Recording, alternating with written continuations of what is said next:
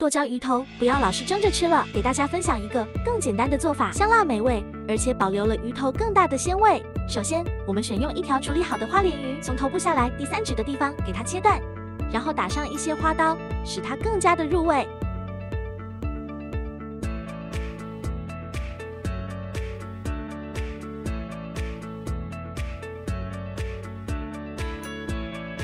来点白胡椒粉、料酒。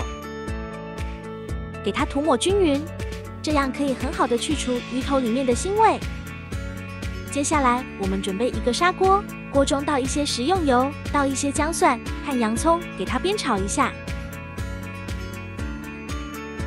炒出香味，我们放一把金针菇，再放上鱼头，再准备一包对岸的知名剁椒酱，铺在上面。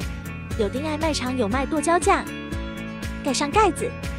沿着锅边来点花雕酒，再给它调成小火煮十五分钟。